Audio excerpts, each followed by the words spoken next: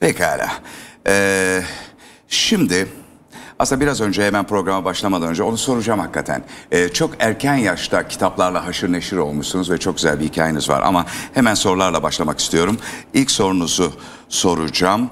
Ee, iş kümesinden bir soru. Size üç kümeden sorular soracağım. İş, hayat ve gündemden işten bir soru soruyorum. Türkiye siyasi tarihindeki kadın siyasetçiler arasında Tansu Çiller, Meral Akşener ve sizin isminiz öne çıkıyor. Aslında çok az değil mi?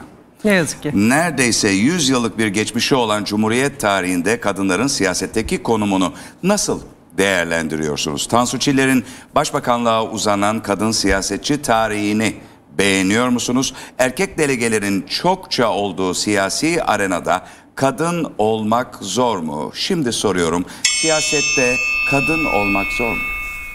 Okan Bey geçtim e, kadın siyasetçi olmayı. Günümüzde Türkiye'de hatta dünyada kadın olmak çok zor. Kadın olarak var olmak çok zor.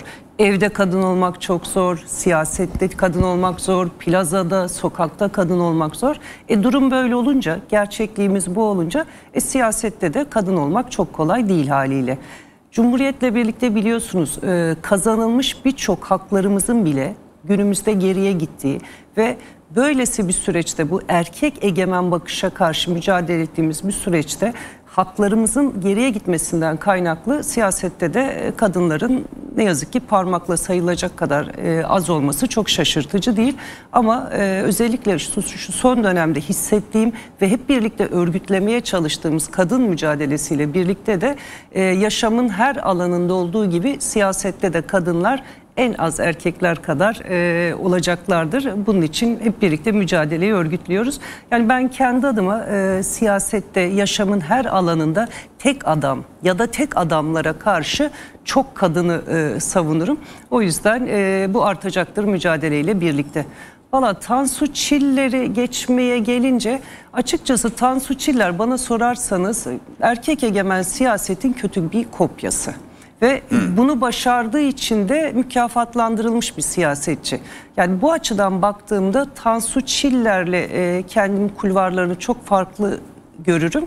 O yüzden geçme ya da geçmeme gibi bir durum benim açımdan söz konusu Meral olamaz. Hanım, Meral Akşener. E, Meral Akşener e, bulunduğu alanda hakikaten e, erkek egemen bakışa karşı mücadele eden bir kadın siyasetçi. Bu anlamıyla ikisini çok ayrıştırırım. Biraz bu e, kadınlara e, ilgi gösteren, siyasette e, çoklukla arzulanan, işte